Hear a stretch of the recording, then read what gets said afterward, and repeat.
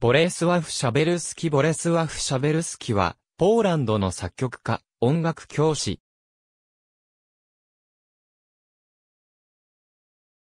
ワルシャワで、カロル・シマノフスキに師事し、1929年から1939年まで、カトビツェ音楽大学で、オルガンと作曲を指導する。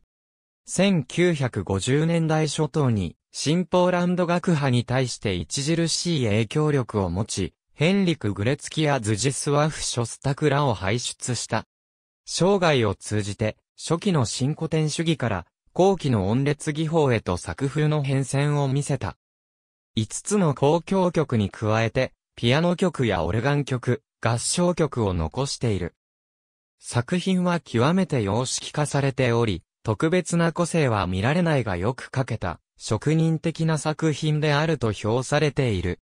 トーマス、エイドリアン、グレッツキ、クラレンドンプレス、24エイプリル1997、ISBN 0から198163940、スタインバーグ、マイケル、ザ・シンフォニー、エイリスナー、S Guide、New York、Oxford University Press、1998、P172 ヘナハン、ドーナル、 Concert。